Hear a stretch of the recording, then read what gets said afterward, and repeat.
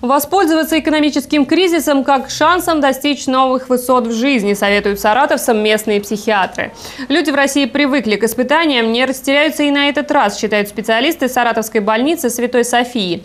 Они привели в пример кризис 2008 года, когда существенного роста суицидов в Саратовском регионе не наблюдалось. В период высоких цен и безработицы психиатры предлагают саратовцам чаще слушать приятную музыку, заниматься фитнесом, смотреть веселые фильмы и не сдерживать эмоции.